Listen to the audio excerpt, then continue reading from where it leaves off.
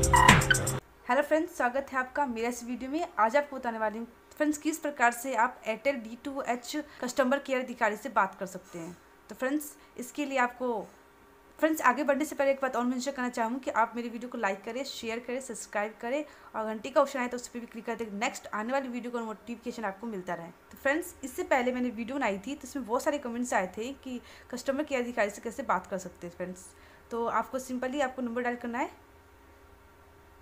तो फ्रेंड्स आप देख सकते हैं, मैं पहले से डायल कर रखी हूँ नंबर तो देख सकते हैं फ्रेंड्स मैं आपको रिपीट कर देती हूँ number one eight zero zero one zero three six zero six five तो फ्रेंड्स इस पर आपको कॉल करते ही एयरटेल डी टू एच के अधिकारी से बात कर सकते हैं फ्रेंड्स तो फ्रेंड्स अगर आपके स्टेट में वर्क नहीं करता है तो आप अपने स्टेट का नाम लिखिए कॉमेंट्स में ताकि मैं आपके स्टेट का नंबर दे पाऊँ।